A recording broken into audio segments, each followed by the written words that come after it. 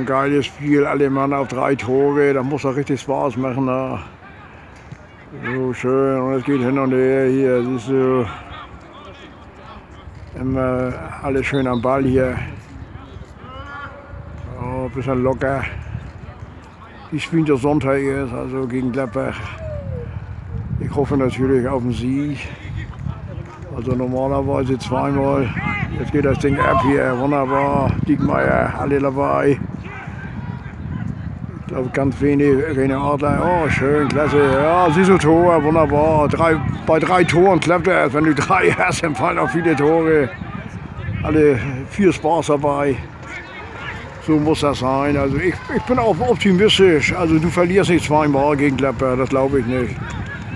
Und dann hat Gladbach noch das schwere Spiel gegen Schalke morgen. Also wird schon mal, ich nehme an, dass er dafür das Ding gewinnen.